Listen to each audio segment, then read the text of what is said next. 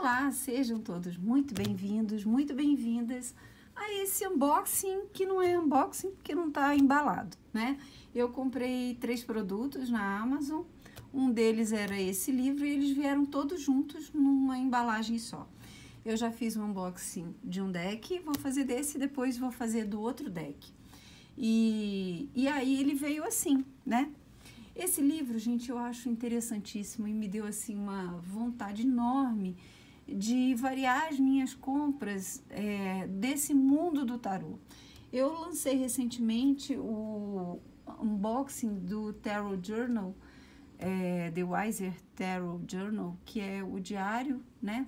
Um, um diário, um caderno, digamos assim, basicamente, em que você pode ir fazendo suas tiragens e, e ir analisando no dia a dia aquilo que o tarô vem conversando com você. E depois você tem um material de estudo maravilhoso. E aí, esse livro eu fiquei enlouquecida com ele. É um livro de tiragens para o ano. Então, ele vai trazer 52 tiragens para você conhecer a si mesmo dentro da, das estações do ano, né? Então ele as autoras são Chelsea Pippin Mitzi e Cara Hudson, que ilustrou. Ele tem uns brilhinhos assim, olha, douradinhos. Esse é o verso. Olha que verso lindo, gente. Olha isso, que lindo. Editora David Charles. Tem aqui outros livros da editora, né?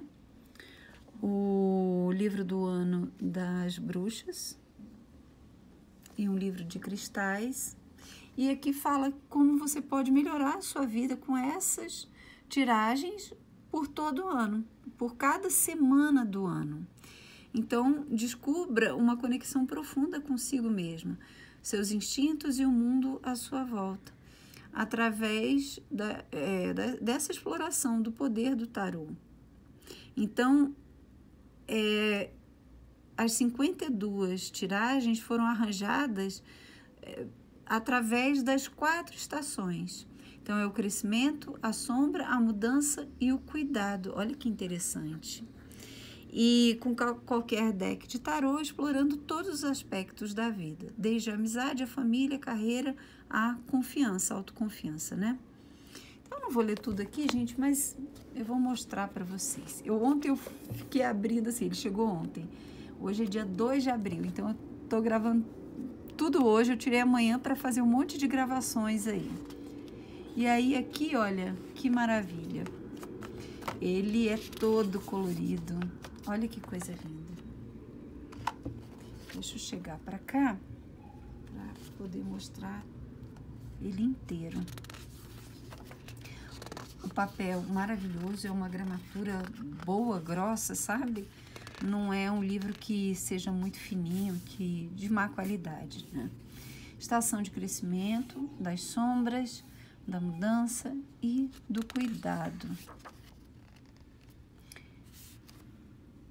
É um ano no tarô, que é o tarô, o tarô e você, tarô por todas as estações, como usar esse livro, o conhecimento de tarô, as suas ferramentas, o diário do tarô, né? Fazer um diário de tarô, tipos de tiragens. Vá para sua própria ah, pace, não sei o que é. Um glossário de tarô. Então aqui vai falar sobre o que a gente já sabe, né? Os naipes, arcanos maiores e menores. Aqui o modelo da, de leitura. E aqui a gente começa na estação do crescimento. Ah, e aí vai falar um pouquinho aqui sobre. Olha só, aqui algumas perguntas já como eu quero crescer nessa estação. Qual é o momento de crescimento do meu passado que eu sou, tenho orgulho, né? Quais são os meus grandes medos e quando eles começaram a crescer?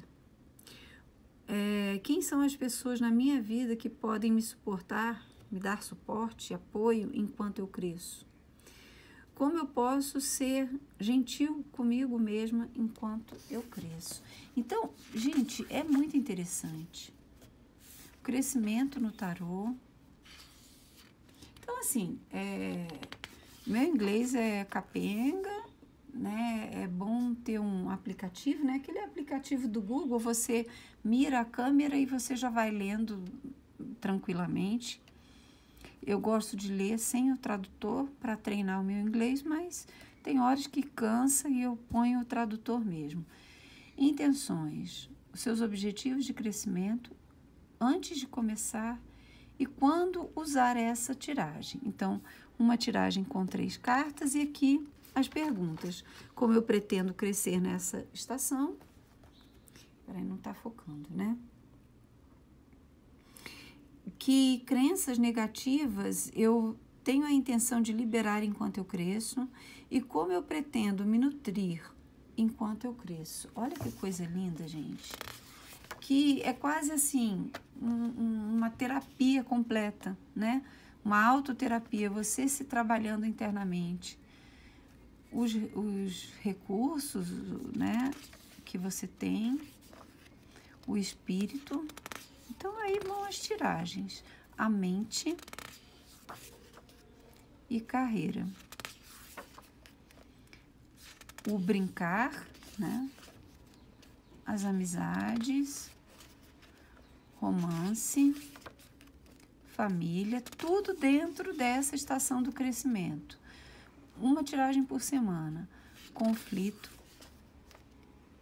escolhas, confiança e aqui a gente termina o ciclo de crescimento. Então vai ter mantras para o crescimento. Ah, não, não termina não. Aqui é um, um detalhe. Reflexões. Aqui a gente já entra na estação da sombra. É sombra? Acho que é, né, gente? Deixa eu ver. É. O trabalho das sombras foi popularizado pelo psicólogo, psicólogo ou psicanalista, psiquiatra, sei lá. Não, psicanalista com certeza não. Não sei, gente, tô trocando as bolas. Tô, já, já falei tanto agora de manhã que eu já tô perdida. O Carl Jung, desculpe se eu falei bobagem aí, é, que propôs a todos a, a sombra, né? Mas muitas pessoas não estão conscientes das suas próprias. A gente geralmente vê as sombras nos outros, né? E que é muito mais fácil de ver as nossas próprias sombras. Eu sempre falo que o crescimento como ser humano, ele exige humildade.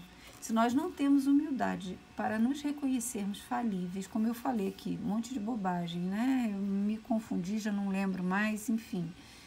A, a necessidade de perfeição, ela vem de uma de uma insegurança e ao mesmo tempo de uma arrogância. Então, quando a gente vai reconhecendo as nossas partes sombrias, isso nos possibilita o trabalho de crescimento, de melhoria íntima. Né? O melhor presente que a gente pode dar para nós mesmos, para as pessoas à nossa volta, para a humanidade, é o crescimento interior. Então, isso exige humildade. E a partir do momento que eu aceito que eu sou imperfeita, que eu tenho erros, que eu tenho sombras, que eu tenho partes feias dentro de mim, eu me permito trabalhá-las. Então, eu acho importantíssimo esse trabalho com as sombras. Eu tenho deck, eu já estou de olho em outro que trabalha as sombras, mas assim, para mim eu uso, mas com clientes nem todos encaram isso numa boa, né? As sombras no tarô, intenções, os recursos. Então veja que aqui as categorias são as mesmas, né? Só que com uma outra abordagem. A mente, a carreira. Então vamos lá, olha aqui, por exemplo, nessa categoria das sombras. É, o que eu quero para além da minha carreira? O que está me bloqueando? Uma experiência negativa na minha carreira no meu passado, uma experiência positiva na minha carreira no meu passado. Como eu posso combinar essas experiências para trazer alguma algum, um avanço, né, como profissional. Então, gente, é, é esse livro é sensacional, além de ser lindo, né? Então veja que as mesmas categorias com tiragens, é claro, diferentes, com perguntas diferentes. Um mantra para trabalhar as sombras, as reflexões e aqui a estação da mudança, que possivelmente é o outono, né? Então lá deve ser primavera. Aqui será que é inverno? Deve ser, né? As sombras. Aqui o outono. E aí as mesmas categorias, né? Conflito, escolha, confiança, mantra. E aqui a estação do cuidado. É, o tarô é uma ferramenta para conhecer a si mesmo e conhecendo a si mesmo, é conhecer a si mesmo é o primeiro passo para cuidar de si mesmo. Olha que interessante.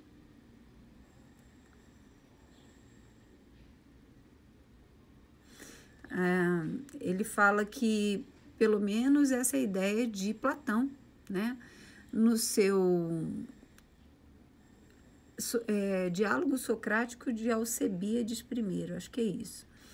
Cuide da sua psique, ele escreve. Conheça a si mesmo e uma vez que você faça isso, uma vez que nós conhecemos a nós mesmos, nós podemos aprender como cuidar de nós mesmos. Muito interessante. E aí, Nossa, ela é tão grossa que eu achei que tivesse outra aqui. E aí vai naquele mesmo esquema, né? O cuidado no tarô. É um livro para ser lido, para ser manuseado, para ser, sabe, é um companheiro de jornada mesmo, assim. Não é um livro, é um livro que no final vai vai acabar bem esculhambado, né? Porque você tem que ler, você tem que mergulhar nesses nesses conhecimentos, nessas tiragens, nessas reflexões que ele traz. É, não existe um trabalho interior que não seja de mergulho, de profundidade, né? A carta da lua já representa o nosso inconsciente, nosso nossa parte mais obscura, escondida, desconhecida até para nós mesmos, às vezes assustadora por isso, né? mas é, qualquer trabalho terapêutico exige essa vontade, humildade, determinação de mergulhar nessas sombras, nessas questões, nesses aspectos, um mergulho dentro de nós mesmos. E esse livro ele possibilita isso, né? Então aqui sobre a autora e agradecimentos e o índice. Muito legal, gente. Adorei. Eu espero que vocês tenham gostado. Eu acho que é uma dica bem bacana e que é muito útil, né? Para nossa, não só para nossa jornada como profissionais, como amantes das cartas, mas principalmente como seres humanos, utilizando essa ferramenta maravilhosa. Um grande beijo, fiquem com Deus e até a próxima.